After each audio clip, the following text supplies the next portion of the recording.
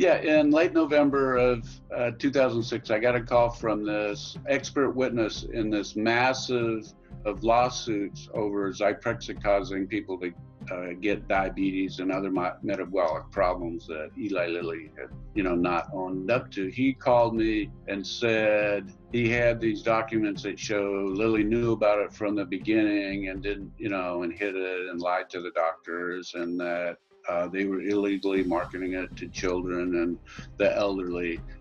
Side effects of neuroleptics is what's called tardive dyskinesia, which is basically drug induced Parkinson's. So they said that these newer drugs don't cause tardive dyskinesia. That was a lie. Another negative effect was this condition called neuroleptic malignant syndrome, which is often fatal you know, it kills people. And they said it doesn't do that. Well, both of those things are a lie.